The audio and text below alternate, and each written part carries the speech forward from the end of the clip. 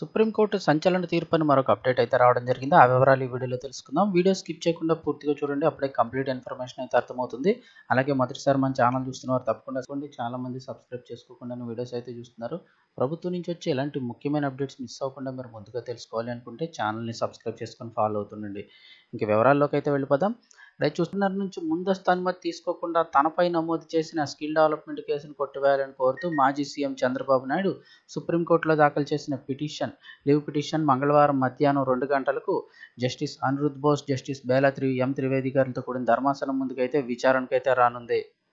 గత శుక్రవారం కోర్టు పనివేళలు ముగిసే సమయానికి రాష్ట్ర ప్రభుత్వ వాదనలు పూర్తి కానందున మంగళవారం మధ్యాహ్నం విచారణ ప్రారంభమైన వెంటనే సీనియర్ న్యాయవాది ముకుల్ ముకుల్ రోహ్గతి తన వాదనలను అయితే కొనసాగిస్తారని చెప్తున్నారు. తన వాదనలు పూర్తి చేయడానికి మరో అరగంట సమయం కావాలని తన విచారణ సమయంలోనే ఆయన ధర్మాసనానికి విన్నవించారు.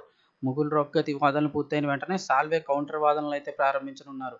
మంగళవారం సాయంత్రానికల్లా అన్ని పక్షాల వాదనలకు పూర్తిగా ముగిసే అవకాశం ఉందని చెప్తున్నారు. తర్వాత ధర్మాసనం తీర్పు రిజర్వ్ చేస్తుందా లేదంటే ఇంకేమైనా చెబుతుందా అనేది అయితే తెలియాల్సి ఉంది. సో మరి కాసేపట్లో అయితే కనుక చంద్రబాబు స్కిల్ డెవలప్మెంట్ కేసుకు సంబంధించి తీర్పు అయితే కనుక రానుంది.